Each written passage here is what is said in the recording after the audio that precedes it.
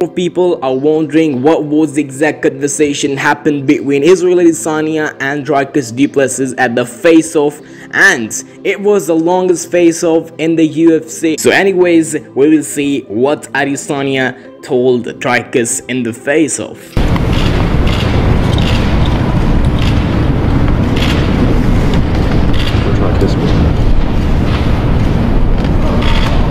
Thank you, gents. Facing the front, please. Um, I think he said, uh, "Don't kiss me." As far as I know, he said, uh, "Don't go kissing me now," and I said, "I'm no dog, so I won't." You heard it from the former champ Adesanya. He was not liking the idea of Dricus getting close to him. I don't know, maybe Adesanya saw the video of Dricus with his coach, who knows. But at the end of the day, this was the face-off, reportedly the longest face-off in the UFC history.